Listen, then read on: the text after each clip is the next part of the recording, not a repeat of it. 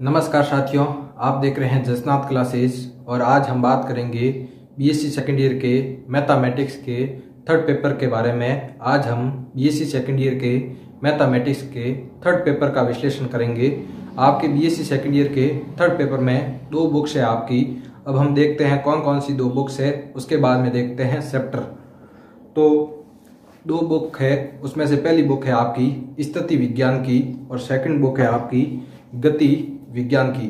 तो स्थिति विज्ञान की और गति विज्ञान की, ये दो बुक मिलाकर आपका थर्ड पेपर बनता है। तो दोस्तों B BSc first year B BSc second year B BSc third year तीनों में जो आपका थर्ड पेपर है, तीनों में हार्ड है, कठिन है।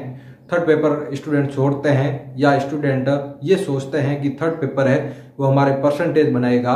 जैसे कि फ़र्स्ट और सेकंड पेपर पढ़कर स्टूडेंट सोचते हैं कि हम पास हो जाएँ और थर्ड पेपर में जितने नंबर आते हैं, जैसे पंद्रह, बीस, तीस, चालीस, वो हमारे परसेंटेज बनाएँगे। और थर्ड पेपर को हटाते हुए फ़र्स्ट और सेकंड पेपर की तैयारी करते हैं। थर्ड पेपर थोड़ा सा टफ है।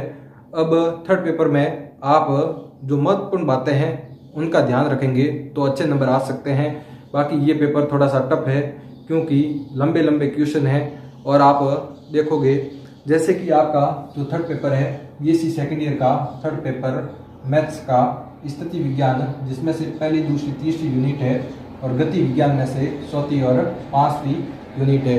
आपकी दो बुक है, स्थिति विज्ञान की और गति विज्ञान की। स्थिति विज्ञान से पहली, दूसरी, तीसरी यूनिट और गति विज्ञान से चौथी और पांचवी यूनिट तो दोस्तों, कोई भी आपकी यूनिट है यूनिट का जो नाम है, वो आप याद रखें। वहाँ से क्वेश्चन पूछा जाता है दो नंबर का।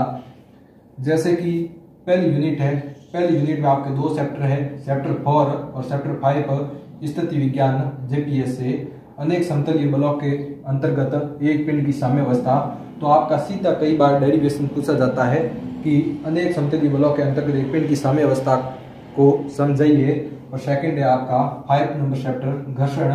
तो घर्षण क्या है? घर्षण कौन क्या है? घर्षण गुणांक क्या है? सीधे आपके यूनिट के नाम से क्वेश्चन पूछे जाते हैं। तो इसमें पहली यूनिट में महत्वपूर्ण टॉपिक है समतलीय बलों के निकाय का बल तथा बल युग्म में समानयन त्रिकोणमितीय प्रमेय उसके बाद में घर्षण घर्षण बल, घर्षण कोण, घर्षण गुणांक घर्षण गुणांक व कोण में संबंध। ये इंपोर्टेंट जो महत्वपूर्ण टॉपिक है, इसमें से सबसे महत्वपूर्ण है घर्षण घर्षण कोण, घर्षण बल, घर्षण गुणांक घर्षण गुणांक व कोण में संबंध। यहाँ से दो नंबर का हंड्रेड परसेंट क्वेश्चन पूछा जाता है। तो यहाँ से आप दो नंबर पक्के कर सकते हैं। तो ये थी फ़र्स्ट यूनिट अब हम बात करते हैं सेकंड यूनिट सेकंड यूनिट में तीन विमाओं में बल या कई बार पूछा जाता है, तीन विमाओं में बल का जो डेरिवेशन है, उसको प्रूव कीजिए। और सेकंड है, आपकी जो नौ नंबर चैप्टर है, वो है स्थायी तथा अस्थायी संतुलन। हर बार आप पिछले पाँच साल के पेपर उठाकर देखिए, हर बार पूछा जाता है, स्थायी संतुलन को समझाइए या अस्थायी संतुलन को समझाइए। कभी कभी पूछा जाता है, स्थायी संतुलन और अस्थायी संतुलन की परिभाषा लिखिए। तो यूनिट के नेम से या चैप्टर के नाम से आपको क्वेश्चन पूछा जाता है दो नंबर का। तो इसमें महत्वपूर्ण टॉपिक है। एक पिंड के लिए गए बिंदुओं पर क्रियाशील बल निकाय का परिणाम ही, अर्थात तीन विमाओं में बल, ये जो चैप्टर का नाम है, उसके बाद में व्योन शॉर्ट केंद्रीय अक्ष रेंस पिच केंद्रीय अक्ष का समीकरण स्थायी, अस्थायी व उदासीन संतुलन हंड्रेड परसेंट दो नंबर का क्वेश्चन यहाँ से आपको पूछा जाएगा। स्थायी, अस्थायी और उदासीन संतुलन से। उसके बाद में ये आपकी जो सेकंड यूनिट थी, उसके बाद में बात करते हैं यूनिट नंबर थर्ड की। यूनिट नंबर थर्ड में अभी दो चैप्टर है और उनके नाम से क्वेश्चन पूछा जाता है। कभी तो पूछा जाता है कल्पित कार्य की परिभाषा लिखिए, कभी पूछा जाता है केटेंद्री क्या है? केटेंद्री की परिभाषा बताइए या सामान्य केटेंद्री को समझाइए तो आपका चैप्टर के नाम से क्वेश्चन पूछा जाता है। तो इसमें महत्वपूर्ण टॉपिक केटेंद्री सामान्य केटेंद्री कल्पित कार्य, यहाँ से हंड्रेड परसेंट दो नंबर का क्वेश्चन पूछा जाएगा। उसके बाद में कल्पित कार्य का सिद्धांत केटेंद्री की विस्तृति तथा झोल को समझाइए। उसके बाद में सामान्य केटेंद्री का नैज व सामान्य समीकरण यहाँ से पाँच नंबर का क्वेश्चन पूछा जाता है हर बार। इस सामान्य केटेंद्री का नैज व सामान्य इक्वेशन लिखिए। उसके बाद में दो दो, ये तीन यूनिट है। इन तीनों यूनिट से दो दो नंबर का क्वेश्चन है एक तो आपको कहीं से भी पूछ सकते हैं, लेकिन एक घर्षण कौन घर्षण बल, घर्षण गुणांक से पूछा जाएगा। दूसरा स्थायी तथा अस्थायी संतुलन से पूछा जाएगा। और तीसरा, कल्पित कार्य की परिभाषा से पूछा जाएगा। तो ये महत्वपूर्ण टॉपिक है और ये महत्वपूर्ण क्वेश्चन है। और इसमें कौन कौन से महत्वपूर्ण बड़े लेवल के क्वेश्चन है, वो मैंने आपको पहले एक और वीडियो डाला था, उसमें देखिए। और इस जो फ़र्स्ट बुक है, इसमें फ़र्स्ट सेकंड थर्ड और टेन ये चार चैप्टर है, ये आपके कोर्स में नहीं है जेपीएस की बुक्स में। First, second, third ten number chapter है। वो आपके कोर्स में नहीं है। आपका चौथा, पांचवा, आठवा, नवा सट्टा सातवा, ये आपके जो चैप्टर है, वो आपके कोर्स में है। ये बात की हमने फ़र्स्ट बुक की। अब हम बात करेंगे सेकंड बुक, गति विज्ञान की।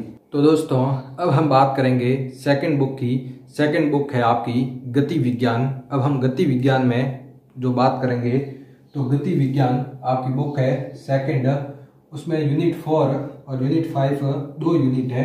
यूनिट फोर में दो चैप्टर है और यूनिट फाइव में भी आपके दो चैप्टर है। तो यूनिट फोर में जो पहला चैप्टर है, मूल संकल्पनाएँ शुद्ध गति की तथा बल गति की, और दूसरा जो चैप्टर है, वो है सरल रेखीय गति। इन दो चैप्टर को मिलाकर आपकी यूनिट नंबर फोर बनती है। इसमें जो महत्वपूर्ण टॉपिक है, वो है विस्थापन की परिभाषा। वेग क्या है? त्वरण। सरल रेखीय गति, सरल आवर्त गति, आयाम, आवर्ती, आवर्त काल, आदि कोण या कला कोण सरल आवर्त गति का समीकरण बहुत ही महत्वपूर्ण है। उसके बाद में व्युत्क्रम वर्ग के नियम के अधीन गति, ये कभी कभी दस नंबर में पूछा जाता है। उसके बाद में जो कुछ टॉपिक बता रहा हूँ, वो बहुत ही महत्वपूर्ण है। हंड्रेड परसेंट पाँच नंबर का क्वेश्चन और दो नंबर का क्वेश्चन पूछा जाता है। स्पर्श रेखीय वेग और स्पर्श रेखीय त्वरण। स्पर्श रेखीय वेग की परिभाषा या उसका सूत्र स्पर्श रेखीय त्वरण का सूत्र और इसका डेरिवेशन ये पूछा जाता है दो और पाँच में। उसके बाद में अभिलाम्बिक वेग का सूत्र और अभिलाम्बिक त्वरण का सूत्र, ये पूछा जाता है दो नंबर में और इसका डेरिवेशन पाँच नंबर में पूछा जाता है। उसके बाद में अरिय वेग और अनुप्रस्थ वेग, ये पूछा जाता है दो नंबर में इसका सूत्र और पाँच नंबर में इसका डेरिवेशन उसके बाद में अरिय त्वरण और अनुपस्थ त्वरण, ये बहुत ही महत्वपूर्ण है।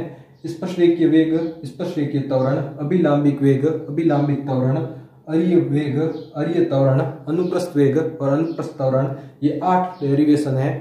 आठ डेरिवेशन बहुत ही महत्वपूर्ण है।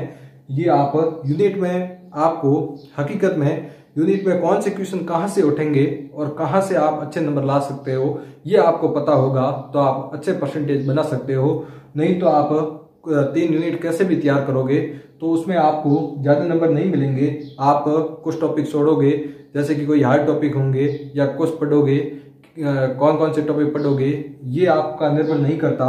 आप वो टॉपिक पढ़ते हो जो एग्ज़ाम में आते हैं, मूलतः जो पिछले पाँच साल के पेपर उठाकर देखोगे कौन कौन से टॉपिक जो रिपीट हो रहे हैं या कौन से टॉपिक महत्वपूर्ण है, वो आपके ज़्यादा मायने रखते हैं कि आप कितने परसेंटेज बनाते हो।